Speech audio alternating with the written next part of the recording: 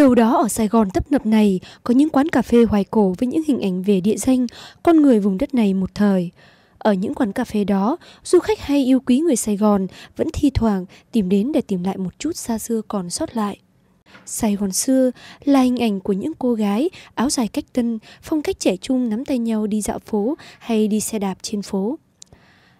Là hình ảnh xích lô của những người đạp xích lô cũ kỹ, mưu sinh trên dòng đời tấp nập là những chiếc xe máy hát bằng giờ thật là hiếm hoi để tìm thấy nó.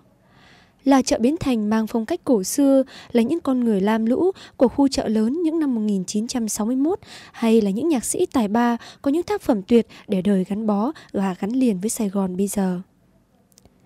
Tìm đến những quán cà phê hoài cổ Sài Gòn xưa đó, có thể nói chúng ta có thể hồi tưởng một Sài Gòn ngày xưa mang phong cách của Hòn Ngọc Viễn Đông.